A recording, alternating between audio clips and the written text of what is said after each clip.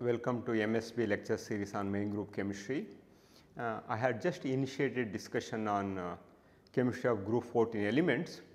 In my last lecture, I started looking into the hydrides of group 14 elements. Let me continue from where I had stopped. Methane having formula CH4 is a odorless flammable gas and it is the simplest hydrocarbon and it is found in large natural underground deposits from which it is extracted as natural gas and used as domestic and industrial fuel. Uh, how that happens? Essentially we burn methane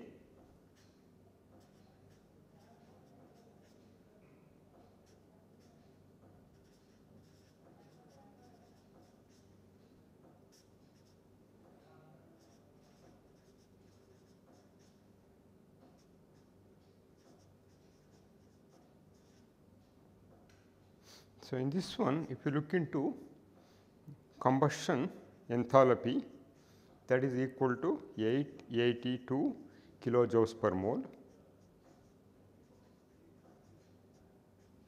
So, this indicates the exothermic nature of this reaction. Apart from this combustion reaction, methane is not very reactive. It is not hydrolyzed by water and reacts with halogens only when exposed to ultraviolet radiation involving radical mechanism. For example, if you take uh, CH4 gas and pass Cl2 gas under photochemical conditions or under ultraviolet radiation, it gives CH3Cl with the formation of HCl.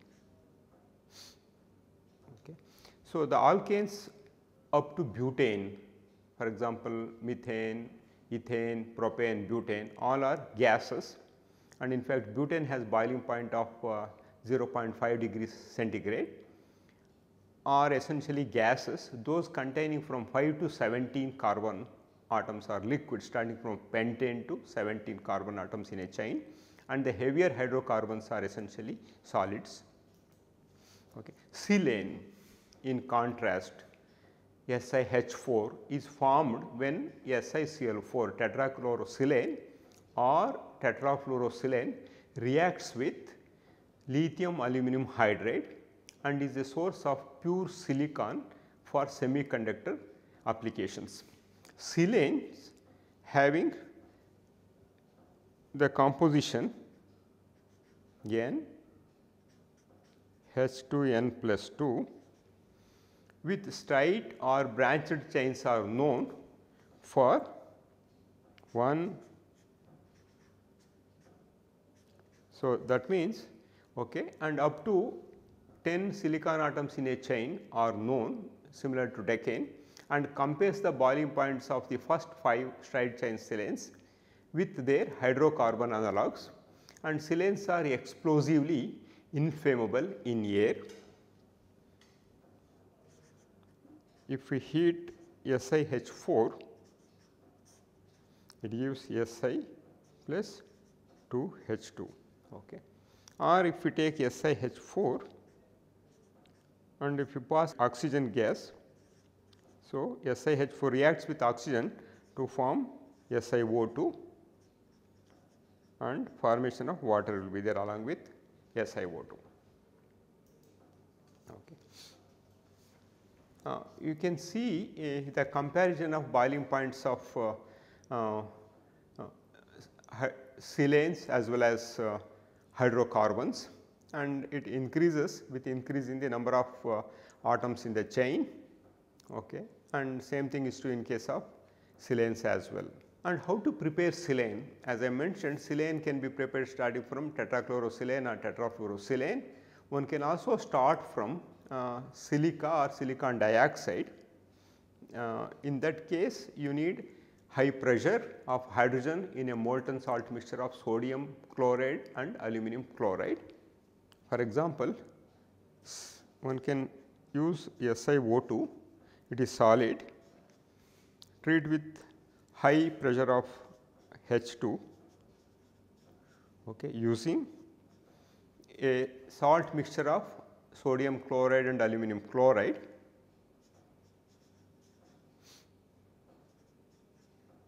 So, this gives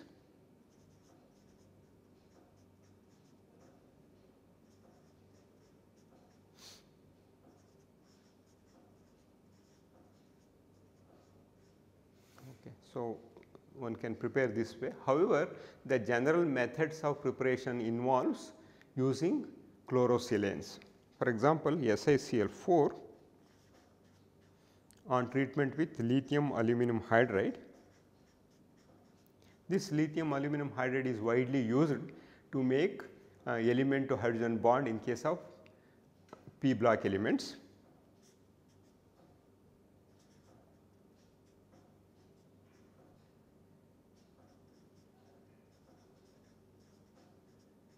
Okay. Or for example, one can take phenyl trichlorosilane treat with lithium aluminum hydride. One can also write like this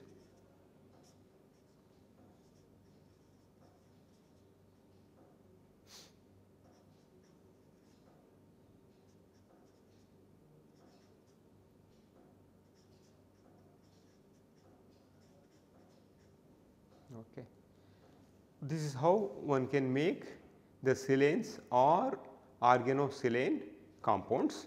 The silanes are much more reactive than alkanes and their stability decreases with increasing chain length. Silane itself for example, SiH4 is spontaneously flammable in air, reacts violently with halogens and is hydrolyzed on contact with water, very sensitive to moisture. So, bonds between silicon and hydrogen are not readily hydrolyzed in neutral water, but the reaction is very rapid in strong acid or in the presence of trace amount of base. Similarly, alcoholysis is accelerated by a catalytic amount of alkoxide. For example, uh, SiH4 when it is treated with 4 equivalents of an alcohol on heating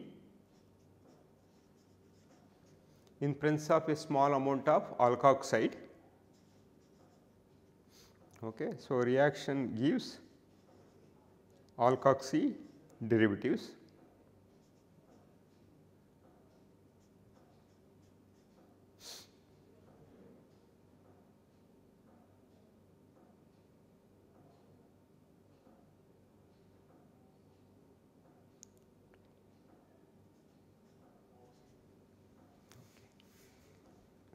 So, kinetic studies indicate that the reaction proceeds through a structure in which OR attacks the silicon atom while H2 is being formed via a kind of HH hydrogen bond between hydridic and protic H atoms.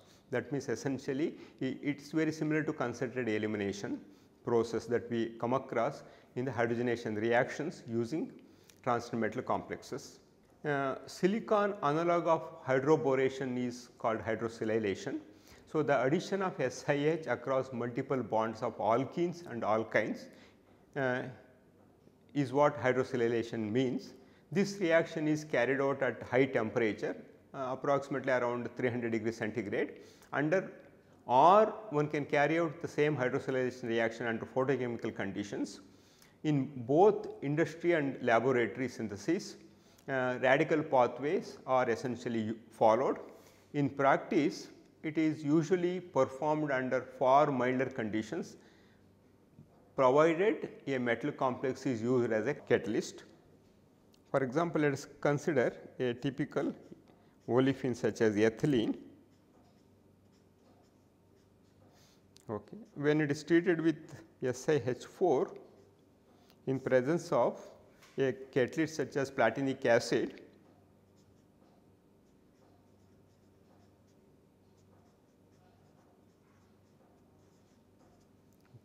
and in isopropanol as a solvent it gives okay. So, this is essentially a hydrosilylation reaction addition across double bond. Silane is a colorless gas which is insoluble in water. It can rapidly react with alkalis and form compounds of this type. Let me write here.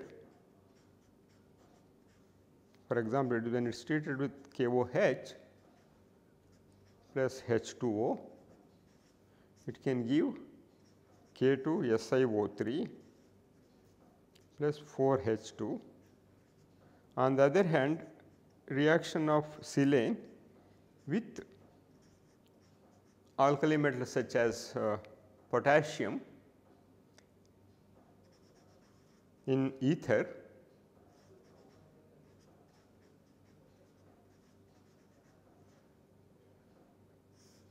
it gives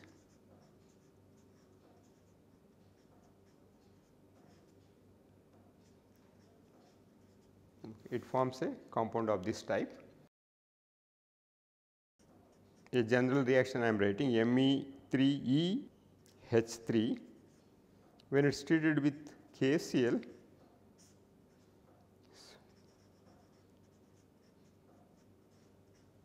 in presence of Me3ECl I, I will define what is E can be either silicon, germanium or tin here also same thing. It initially it gives this salt and this one on further treatment with methyl iodide forms MESiH3 plus Ki. So, that means uh, one can use uh, conveniently this method uh, to generate different types of uh, alkyl silanes or alkyl germane or alkyl stannanes. And SiH3Cl is a very useful reagent. I will show you some reactions of SiH3Cl chlorosilane. For example, SiH3Cl when is simply heated it gives Si H2Cl2 plus SiH4. If it is treated with sodium, so then one can get Si2H6 very similar this compound is similar to ethane. If we take this one and treat with one equivalent of sodium, we get half equivalent of Si2H6. If it is treated with ammonia, uh, it leads to the formation of SiH3 3 times. Okay. And if it is treated with uh, water vapor, it gives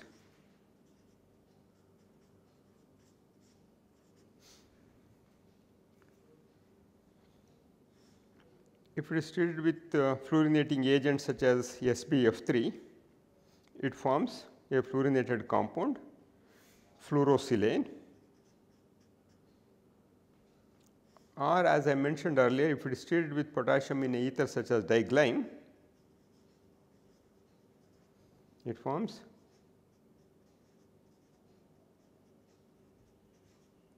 yes. These are some of the important reactions of chlorosilane.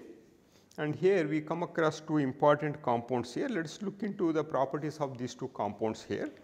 Let me write here the structure of these two compounds.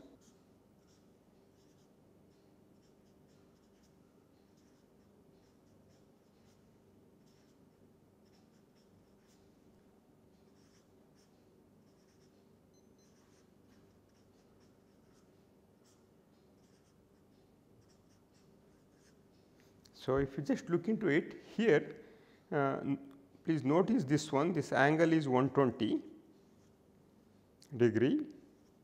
And then this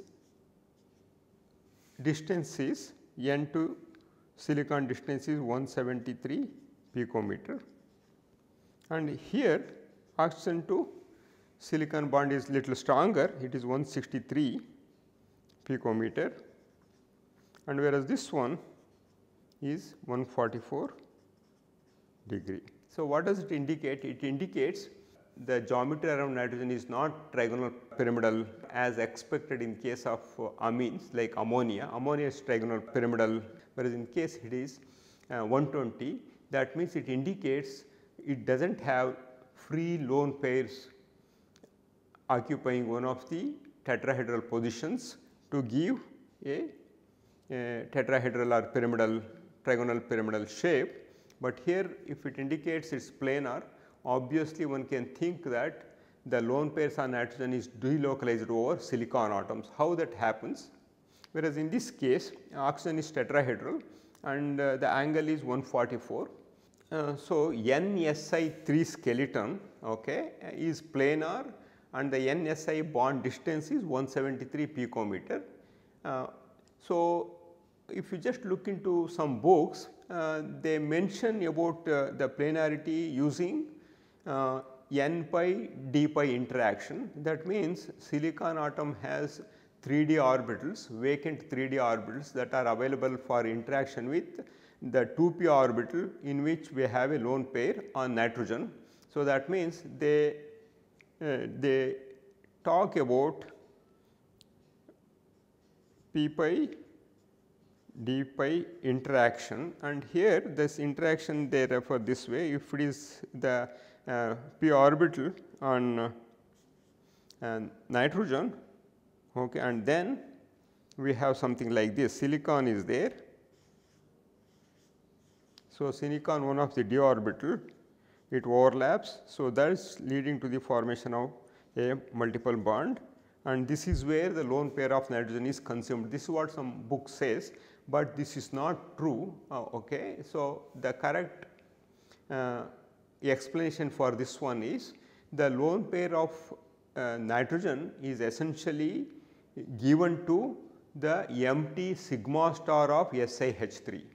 Okay. This is very similar to what we come across in case of uh, carbon monoxide or phosphine metal complexes. In case of uh, carbon monoxide or metal carbonyls, uh, the metal T2G electrons are given to pi star of carbonyls through back bonding whereas in case of phosphines this electrons from T2G orbitals are promoted to sigma star of PR3 in the form of back bonding. So, essentially if we just analyze this kind of electron transfer it is very similar to uh, P pi to sigma star in case of uh, R d pi to sigma star.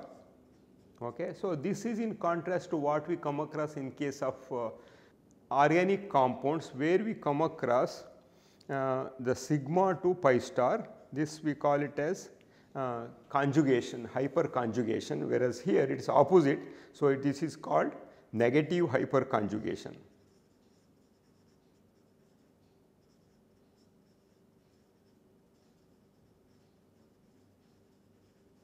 Okay. So, essentially the electrons lone pair of electrons from the nitrogen are donated to the sigma star of silicon uh, hydride that means sigma star of SiH3 and this is called negative hyperconjugation. And of course this negative hyperconjugation is quite common in case of phosphorus nitrogen compounds where nitrogen lone pair is essentially going to the phosphorus sigma star and that also denoted as negative hyperconjugation and essentially strictly speaking uh, the 3D orbits of silicon are very high in energy and they are not participating any in any multiple bond formation between N and Si. So, because of this one the nitrogen lone pairs are consumed and it is a very weak Lewis base compared to ammonia. This, this compound here okay, this is a very weak Lewis base compared to ammonia because its lone pair is now consumed, it is not available for performing it as a ligand. Let us now look into hydrides of germane, stannane and plumbane. Uh, germane is GeH4, stannane is SnH4. They can be synthesized by the reaction of appropriate tetrachloride with lithium aluminum hydride in tetrahydrofuran solution or in a typical ether solution plumbane PbH4 has been synthesized in trace amounts by the protolysis of a magnesium lead alloy but it is extremely unstable. Uh, the stability of the tetrahydrides varies in order. That means SiH4 uh, is more stable uh, and then then GeH4 if you consider apart from CH4 CH4 is stable. Let us not bring CH4 here. And if you compare the stability of hydrides of uh, remaining 4 elements of group 14 they follow this order most stable then germanium H4 then so stability decreases down the group. Okay. And uh, the general method of preparation of uh, germane or germanium tetrahydride is starting from germanium oxide. When germanium oxide is treated with lithium aluminum hydride, it gives germane plus LiAlO2. Okay. Uh, the presence of alkyl or aryl group uh, stabilizes the hydrides of all the three elements. For example, trimethyl plumbane. Okay. So, H. So, this is uh, much more stable compared to PbH4 and decomposes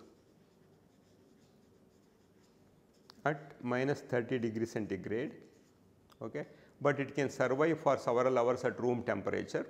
And if you consider germanes essentially they have the same uh, formula. Okay. Uh, it can also form straight as well as branched chain isomers. Uh, here it is known up to uh, 9 germanium atoms in a chain. Here okay, and uh, germanium tetrahydride is less reactive than SiH4. It is a colorless gas with boiling point 184 Kelvin and it decomposes at 488 Kelvin and also this is insoluble in water. So, reactions between germane uh, tetrahydride or germane uh, and alkali metals also give similar to the what I had described with silicon. So, they also form something like this with alkali metals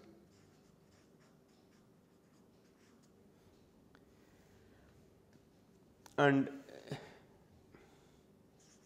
GE9 H20 uh, is known for germanium. In case of tin only SN2 H6 is known and uh, S, SN3 analog is not known for tin.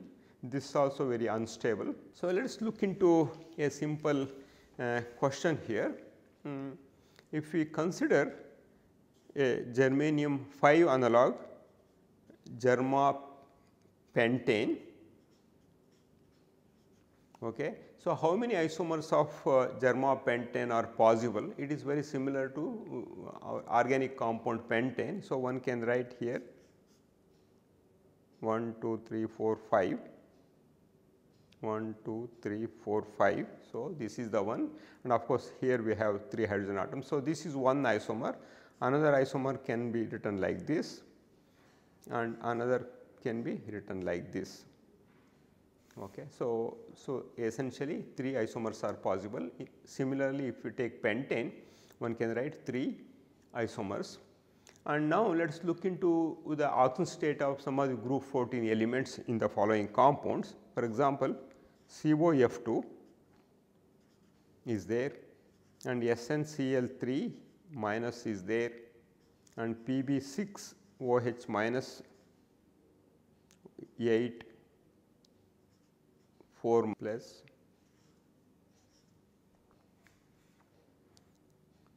And pH2 Pb Pb pH2 okay so let us look into it here. Of course carbon is in plus 4 state and tin in this one is in plus 2 state.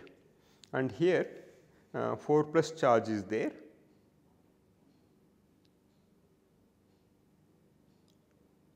So, lead this is in plus 2 state and in this one uh, if any bond is there between two atoms. So, this one is a covalent bond. So, we should not consider this one towards oxide state. So, here for okay this is this one okay. So, this one okay. So, Pb PH3 triphenyl uh, lead dimer okay. So, in this case the oxidation state of lead is plus 3 because this one is not considered okay.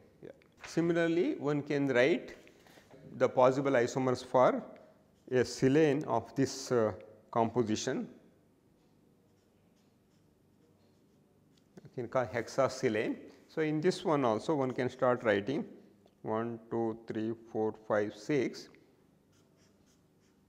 1, 2, 3, 4, 5. So, this is one isomer and then this is another isomer. So, this is one more isomer 1, 1, 2, 3, 4, 5, 6. So, so totally you have 5 possible isomers for hexasilane. Okay. So, very similar to uh, the situation in case of hexane organic molecule. Okay. So, with this let us move on to the uh, oxides of group 14 elements. Uh, the oxides of carbon being gases are quite different from those of the other group 14 elements. It is very interesting and to analyze the oxides of all group 14 elements, the structural differences results from the presence of strong p pi p pi bonding between carbon and oxygen and carbon oxide oxides if we take are discrete species whereas in case of silicon this is exactly opposite. Uh, does not form SiO double bond okay, and it is unstable with respect to two SiO single bonds and so silicon oxides and many oxyanions have infinite covalent network structures of SiO bonds and heating the element in oxygen forms dioxide that is SiO2. Okay. So, unlike the uh, heavier elements, okay, carbon forms very stable monomeric oxides such as CO and also CO2. So, analysis between CO2 and SiO2 can be made in the light of the thermochemical data. So, CO bond enthalpy uh, is more than twice remember I repeat again CO bond enthalpy is more than twice that for the CO bond while the SiO double bond enthalpy term is less than twice that of the SiO bond. And here uh, one can make carbon monoxide in the laboratory by treating formic acid with concentrated sulfuric acid.